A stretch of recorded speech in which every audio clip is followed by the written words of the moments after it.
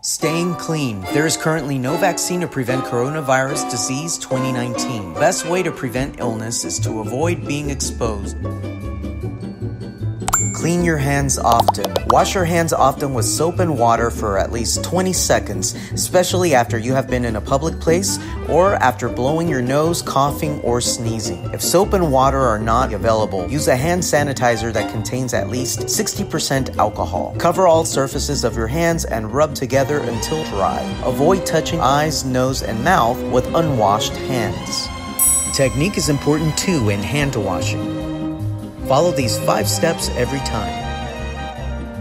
Wet your hands and apply soap. Lather your hands by rubbing with the soap. Lather the backs of your hands between fingers and under nails. Scrub your hands for at least 20 seconds. Rinse your hands under running water. Dry using a clean towel or air dry.